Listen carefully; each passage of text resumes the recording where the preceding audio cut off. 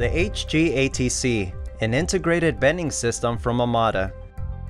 This 110-ton press brake with automatic tool changer seamlessly integrates four critical components to maximize bending productivity. A servo-hydraulic hybrid drive system ensures high bending accuracy, low maintenance, and low energy consumption. An AMNC 3i control with high-powered processor and expanded memory displays more information on a large touchscreen and allows operators to efficiently perform tasks on the control.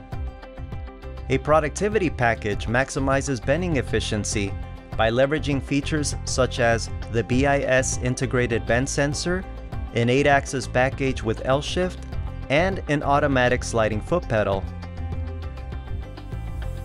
The automatic tool changer with patented Amada tooling streamlines the tool loading process and allows fabricators to quickly introduce rust jobs and ensure consistent part production. The tooling was designed to integrate exclusively with the HG ATC bending system. To achieve this integration, many factors had to be considered in the engineering of the ATC tooling. Christian Altamirano talks about the critical nature of tool alignment. The point on the tool where it's engaged is crucial to maintaining accurate balance for proper loading. Calculating this point is extremely difficult, especially with the varied shapes of special tooling.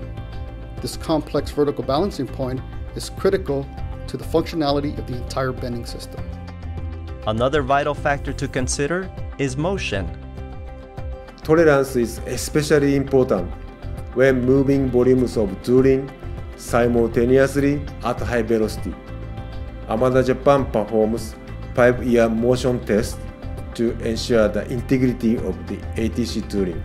Tools are engineered to ensure the accurate mating and separation during loading and unloading.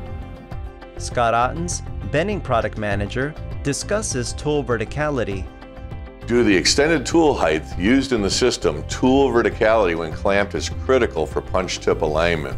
You can see that any variance in tip alignment is magnified by the height of the tool. Tolerances in this area are so critical that we actually develop new manufacturing processes in order to attain them. Exclusivity between holder and tool is required to ensure accurate accumulated tolerances. This cannot be reverse engineered.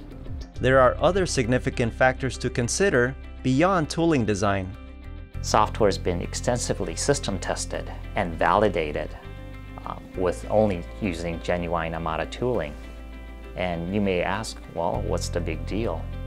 Unfortunately, there's no way software can tell the difference between knockoff and a genuine Amada tooling. So therefore, when you get the software result and when you run the machine, the end result is unpredictable. And why would you want to take on that additional risk? Scott Ottens summarizes the relationship between the tool changer and tool design. The patented tool changer has a foundational effect on how the tooling was designed. The tooling design itself is patented to work seamlessly within the HGATC bending system. The automatic tool changer with patented Amada tooling is an integral component of the HGATC bending system, a system designed to provide the user with accurate, repeatable, and rapid tool change.